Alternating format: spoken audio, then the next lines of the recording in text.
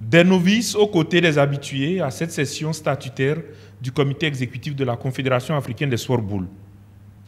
Le délégué du Togo est venu défendre la candidature de son pays pour abriter les prochains championnats d'Afrique qualificatifs pour les championnats du monde de 2020. Nous avons l'accompagnement, nous prenons les dispositions, puisque nous avons reçu ici une autorisation de notre nouveau ministre de tutelle qui est derrière nous et nous comptons travailler dans ce sens vraiment pour euh, la réussite de cet événement si euh, le Togo l'habite.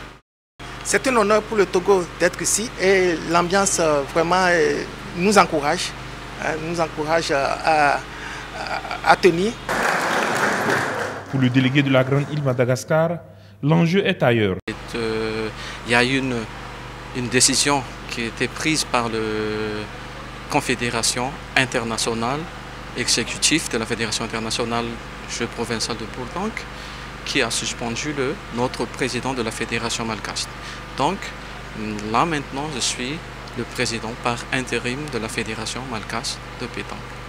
C'est pour cela que je suis ici au comité d'exécutif de la Confédération africaine de sport des boules.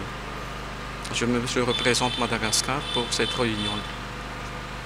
Et vous espérez que euh, à l'avenir, euh, rapidement, la Fédération malgache va retrouver sa sérénité, son calme Bien sûr, sous le soutien de la Confédération africaine avec la Fédération internationale, c'est bien sûr, mais on n'entend que ça.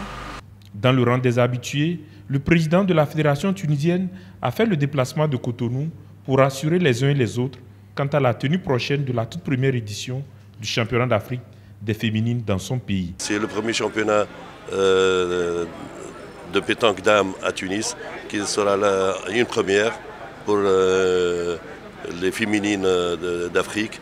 Donc euh, elle regroupera en principe huit pays, parce que jusqu'à présent il y a six, entre 6 et 8 pays qui ont donné leur accord pour participer à ce premier championnat d'Afrique d'âme.